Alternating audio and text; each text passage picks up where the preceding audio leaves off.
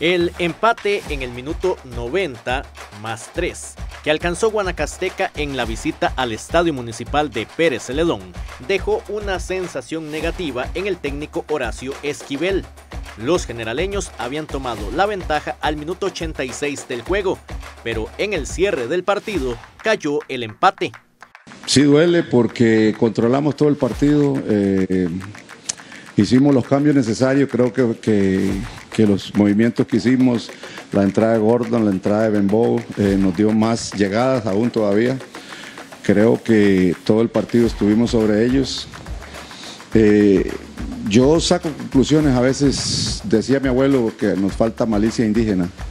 Yo creo que por, por ese, ese grado, grado de malicia, nosotros hoy nos sacaron dos puntos de la bolsa. La igualdad dejó al Municipal de Pérez Celedón en la novena casilla de la tabla del Apertura con 7 puntos, siendo el equipo con más empates del torneo con 4, o sea, el 50% de los partidos que lleva disputados. El próximo encuentro de los generaleños será el 11 de septiembre contra Saprissa en Tibas.